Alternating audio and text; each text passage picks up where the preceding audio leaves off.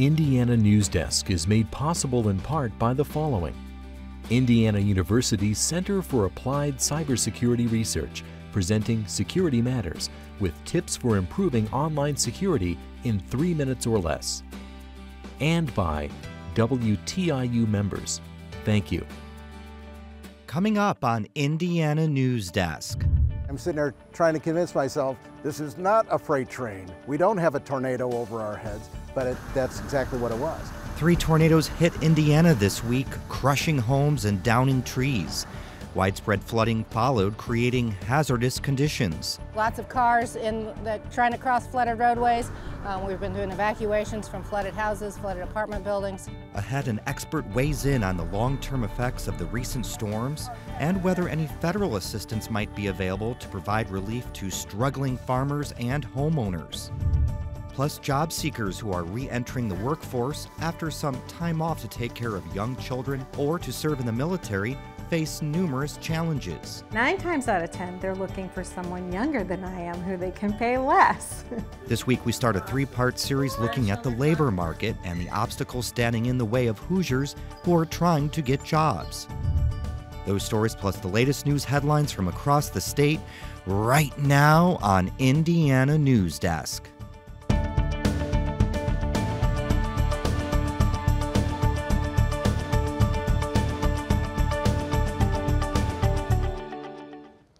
Welcome to Indiana News Desk. I'm Joe Hren. It's been a dangerous and devastating week for Hoosiers as severe weather pounded much of the state. Several communities were hit hard with flooding and wind damage. As Barbara Brosher reports, families are now trying to salvage what they can while state officials work overtime to assess the damage.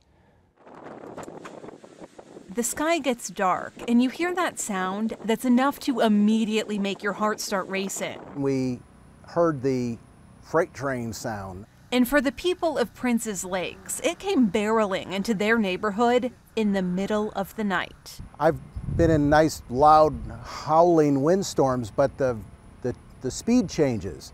This was very constant.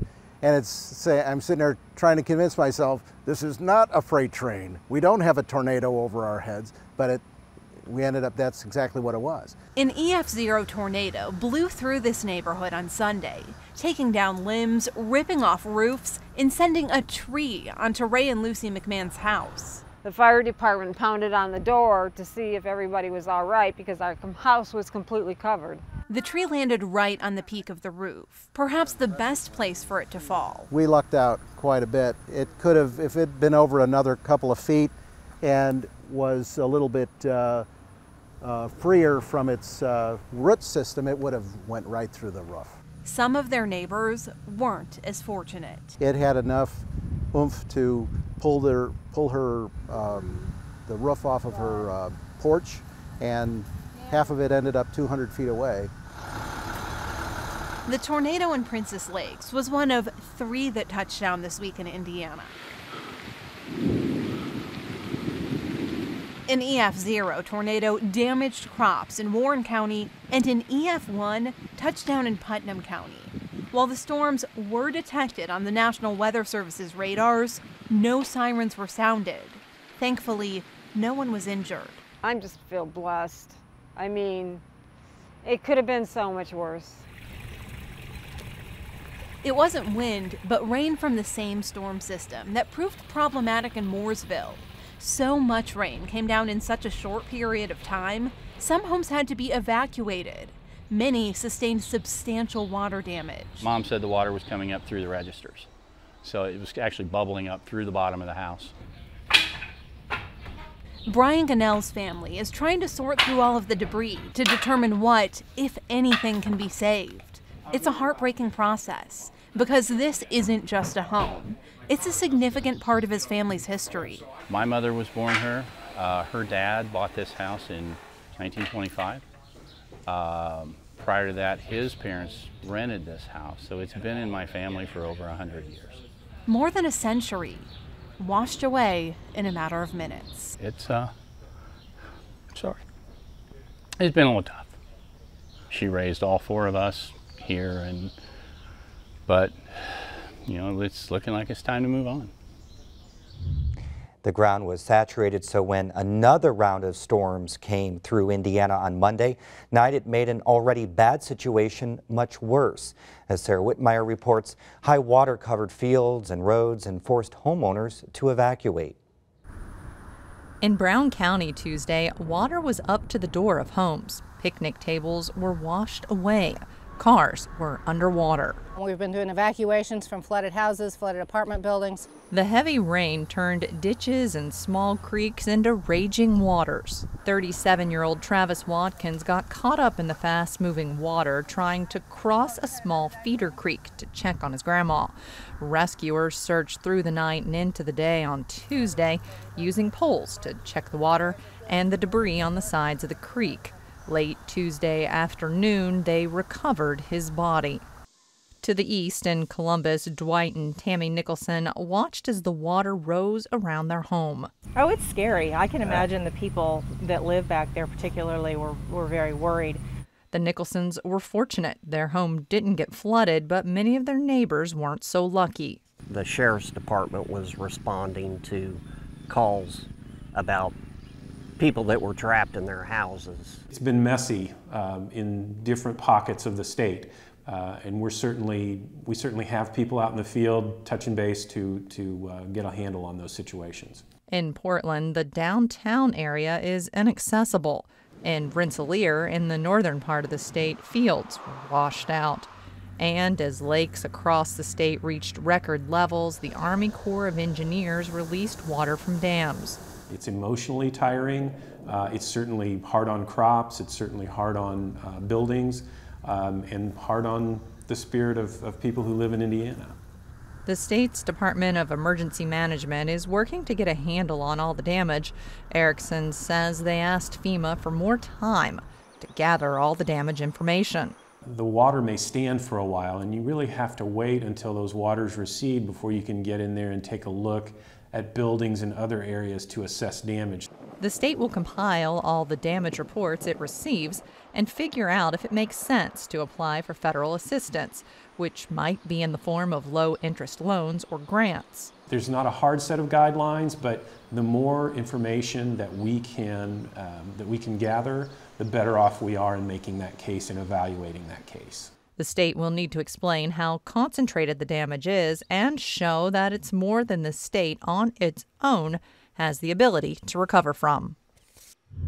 While we don't have property damage estimates yet, corn and soybean farmers alone are looking at losses in excess of half a billion dollars. And before we change topics, one area we didn't touch on was the effect of flooding on recreational activities. If you visit Lake Monroe or plan to visit the beaches there, DNR officials say not this year.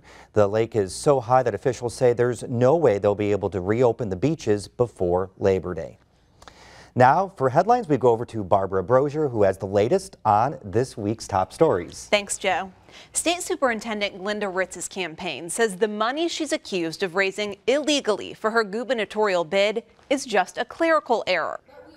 Candidates are not allowed to raise money during the legislative session, but Ritz's recent financial report forms show she raised $8,000 in January and February when the legislature was in session. The gubernatorial candidate says she did no fundraising during the blackout period and the finance forms will be corrected.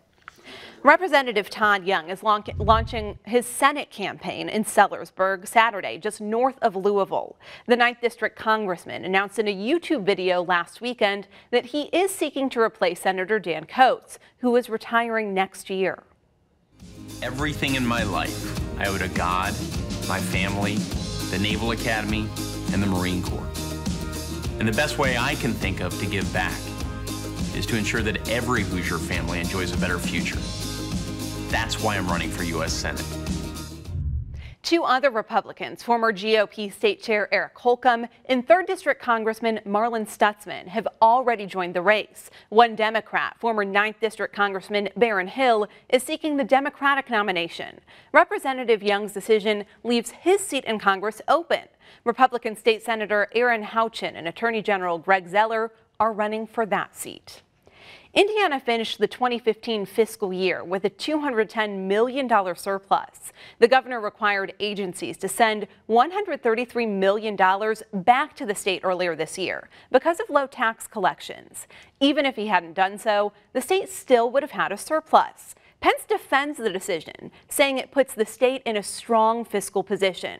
But House Democrats say the governor is hoarding money at the expense of funding critical needs. Indiana Senator Dan Coats says he hasn't decided whether he will vote later this year to lift sanctions from Iran as part of the nuclear deal the Obama administration announced this week.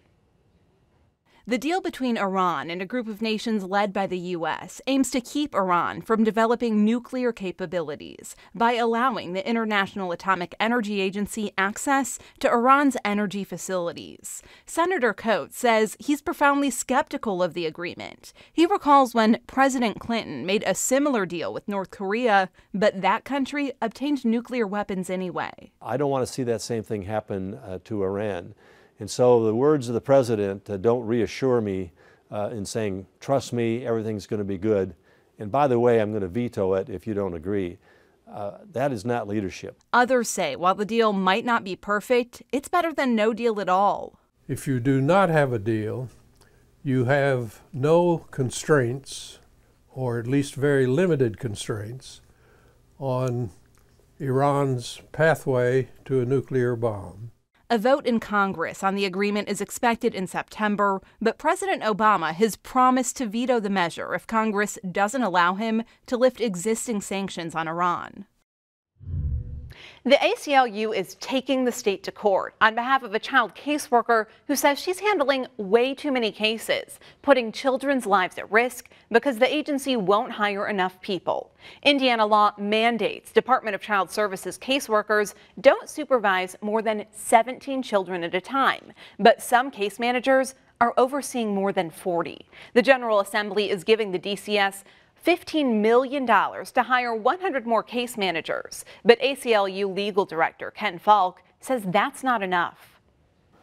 Uh, I am not sure if DCS has the ability to achieve these standards without more support from the legislature. I suspect the legislature must step in, but it's the legislator's standard, and, and the state of Indiana is on the line here to protect children. The DCS says it cannot comment on pending litigation. Indiana schools are running low on teachers. According to the most recent data available from the Indiana Department of Education, the state licensed about 4,500 new teachers during the 2013-2014 school year. In 2010, that number was 5,500. Education experts attribute the decline to low pay, a social stigma surrounding the teaching profession, and specifically in Indiana, newly enacted policies that make teaching a less appealing career path such as tying teacher evaluation to student test scores. Federal data shows enrollments in university teacher preparation programs nationwide have fallen by about 10% over the past decade. Cities and counties across the state are considering whether to add electronic cigarettes to their smoking bans. Some already have. Review the proposed changes to Chapter 370 uh, smoking in public places. The Monroe County Health Department held a meeting this week to consider banning e cigarettes in public places. The ban would only apply to the county, not Bloomington. Health officials say the public response to the proposal has been mixed. There were many that were opposed to it, but there was also indications that people didn't really know a lot about them. The state legislature declined to take up a bill this year that would have added e cigarettes to the statewide smoking ban. County fairs are being held across the state, but there's something missing. As Alexander McCall reports, an outbreak of avian flu in states across the Midwest earlier this year prompted the Indiana Board of Animal Health to issue a ban on poultry shows. The ambiance of the poultry barn at the Vigo County Fair is much quieter without the clucking of hens and the crowing of roosters. While a variety of events and animals fill the fairgrounds, the barn is nearly silent. Exhibitors aren't allowed to display their birds this year because of the threat of transmitting avian flu. So instead of live birds, rows of posters plastered with photos of chickens display each entry. I feel like we don't really have anything to do now in the barn. It's just kind of sitting there. And the posters, they show what we did, but you can't tell the quality of the birds. But 4 H youth educator Sarah Miller says the entrants understand why they weren't allowed to bring their birds. It's important to understand that we they're a part of a larger poultry industry and so they needed to understand that that was in their their animals best interest as well not having their animals here commingled. The Indiana Board of Animal Health could lift its ban on poultry shows by mid-September. The vacant fire station on South Roger Street in Bloomington will soon be home to the Lotus Arts Center. Lotus Board Chair Doug Eibling says he expects to have a better idea of what the center will look like after this year's September World Music Festival music performances that coincide with uh, First Fridays and gallery walks or other reasons to draw people into the BEAD Arts District. Uh, visual arts uh, displays that uh, where we can open the bay doors and, and invite the community in. The agreement requires the venue be operated as a public art center or the building ownership will revert back to the city. Employees at the Bloomington-based grocer Blooming Foods will vote Sunday on whether to approve the newly formed union's first bargaining agreement with the company. The agreement the co-op announced this week covers wages, benefits, employee breaks, and other workplace policies, although details of the deal will not be released until it gets final approval.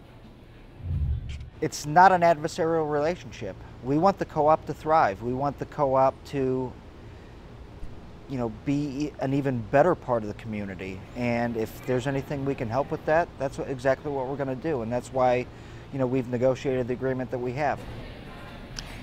And Blooming Foods Management also called the deal a success, calling the agreement a testament to the passion of the staff and managers. We'll be following that story, Joe, and of course, update people as soon as we get word. Okay, thank you very much, Barbara. And coming up next on Indiana News Desk.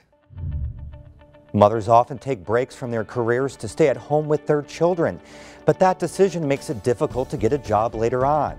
We launch a three-part series on the barriers Hoosiers face to re-entering the workforce.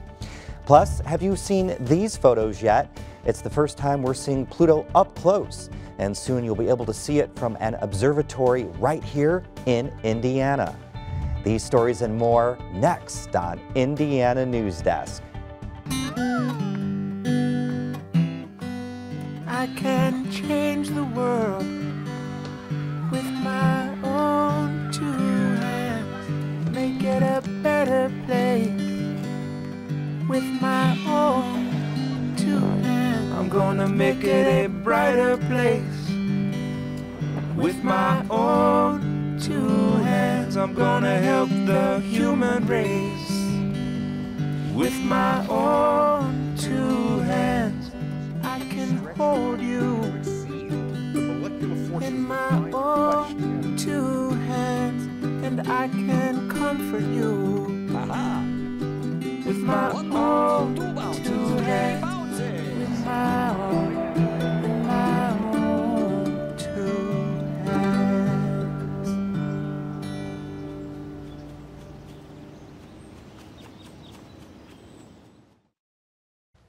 Welcome back to Indiana News Desk.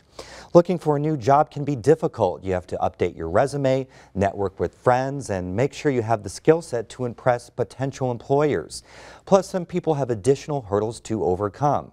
Gretchen Frazee has been reporting on what it takes to re-enter the workforce and joins us now to introduce this three-part series. Gretchen, you found that getting a job can really be difficult for mothers. Yes, that's right, Joe, and particularly for mothers who have chosen to leave the workforce to take care of their children. That creates a gap in their resume. They fall behind on the latest technology, and perhaps most importantly, they have to figure out how to balance their family and work. Five years ago, Heather Dumling's family doubled in size when she and her husband adopted two children, Etienne and Sylvie. Now, much of Dumling's days are spent outdoors with her kids, catching crayfish and water bugs in the creek just outside their home in Unionville. Well, I did love what I, I was doing. Um, I wasn't crazy about the company I was doing it for. Um, and more than anything, I was really ready to be a mom. I was ready for that to be the focus um, of my life. And, and, it and it's been great. The deal was I'm just planning on staying home until they start kindergarten, which will be in August. And now I have to figure out um, what I'm going to be when I grow up. Doomling is 50 years old, and from what she says she hears, that'll make getting a job more difficult. Plus, she'll have to explain the five year gap in her resume and make it clear that there are times when things will come up with her kids. They'll get sick, or there'll be a snow day, and Doomling will have to stay home. We have this traditional mind that, like, you know, um, if you're really serious workers, you are present at work all the time. That doesn't have to be that way. Cha says Doomling's situation isn't rare. A lot of workers have families or loved ones they have to care for, and that applies to fathers too, who are increasingly staying at home to take care of their kids. Women have steadily made up more of the labor force in recent decades. In 1975, fewer than half of all mothers with children under 18 years old were in the labor market. Now, that number is 70%. Cha says that illustrates the need for employers to be flexible. Some proactive, um, you know, employers are trying to implement those ideas that, um, you know, allow the workers um, to uh, to have some more flexibility uh, in terms of where the work is done and then uh, when the work is done. So that uh, could alleviate some of the pressure and some of the conflicts um, that dual earner families are increasingly uh, experience. Cha suggests employers could even allow new parents to cut back their hours for a few years, for example, then come back full time when their children enter school. And she says there also needs to be changes to laws. The water has been boiling for a while, and uh, White House is now you know, trying to put together this, uh, you know, the flexible, flexible work arrangement. Right now, most states, including Indiana, only offer the federal minimum, 12 weeks of unpaid leave. Other states like California are starting to require companies to offer paid leave, and employees are starting to demand more flexibility as well. This economic trend and what the people want and the people need will uh, could be a driving force in in some uh, in, in you know hopefully in a near future. But changing stereotypes and laws are likely to take years. In the meantime, mothers could take some advice from Kathy Green, who successfully re entered the workforce in 2001 after being at home with her kids for seven years. I was incredibly nervous. Um, I didn't know what I could do. A quick look at the photos around Green's house reveals how important family is to her. The best part about being a mom is being a grandma. But Green says she felt like she was a better mother when she was working. She says she was fortunate that a friend she worked with in PTA realized her potential and recommended her for a job. I never equated volunteer work as job skills. I should have. I should have all along because the things that PTA taught me public speaking, um, publisher, Excel for the budget all those skill sets translated into the job I eventually got.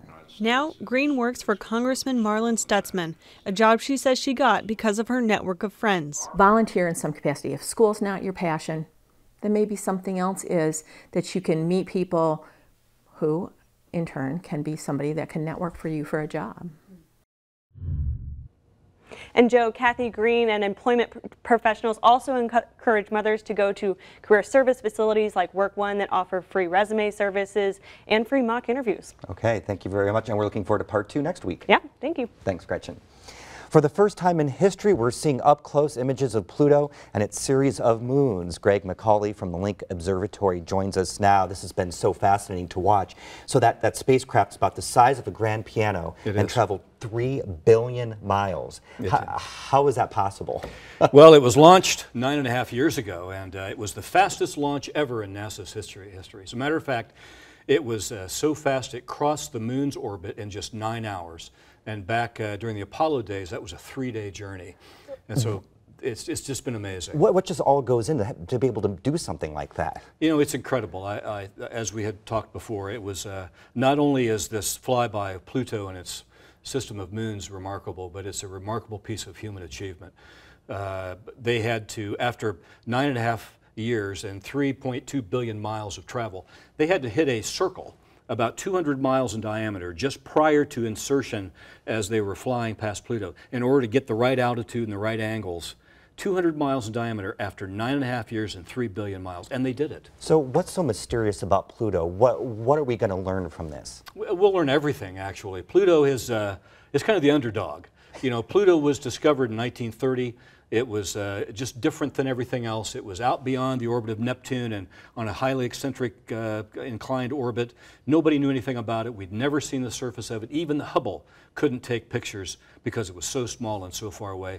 If you can imagine, it's like looking at a golf ball 50 miles away mm. is what it would be like going out in your backyard and trying to find Pluto. And now this is something, though, that you can't see from your backyard.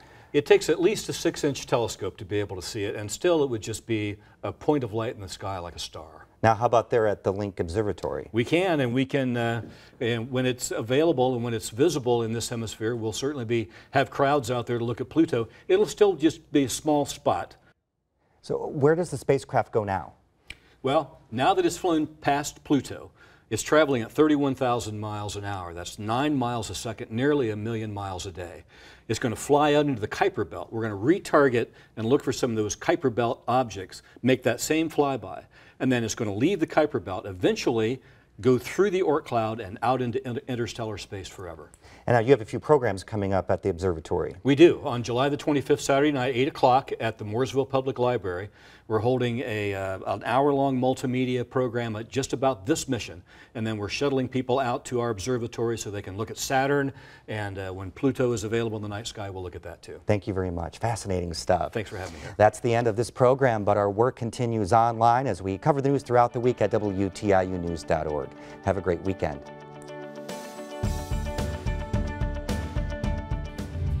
Indiana News Desk is made possible in part by the following. Indiana University's Center for Applied Cybersecurity Research, presenting Security Matters with tips for improving online security in three minutes or less. And by WTIU members. Thank you.